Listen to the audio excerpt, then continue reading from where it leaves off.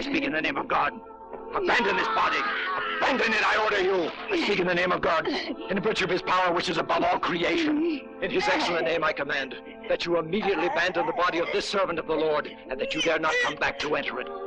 Exorcism, a disturbing story which presents with absolute realism and in all its crudity an eternal theme, the struggle of good against evil, the eternal battle between man and the devil. You're not like that, you know. You're manly, beautifully strong. Exorcism, shattering scenes in an incredible story.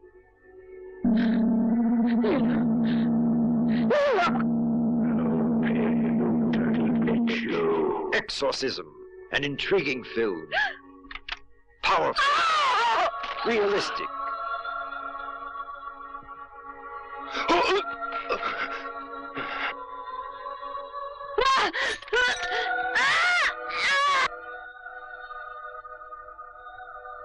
A film which will have a direct impact on your feelings because of its intense drama.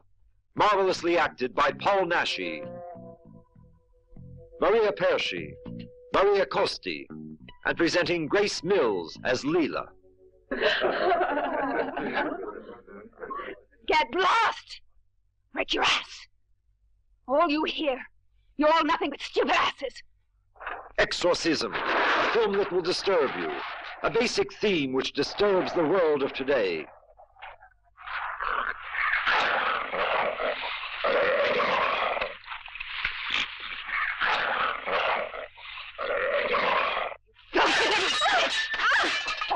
This will know what you, what are you doing? You won't drag another word out of me. Get him out.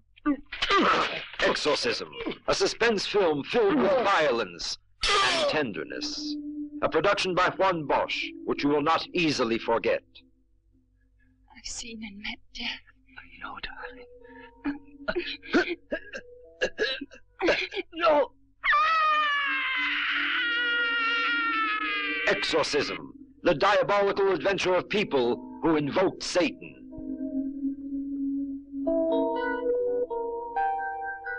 Exorcism, the film you will soon be able to see.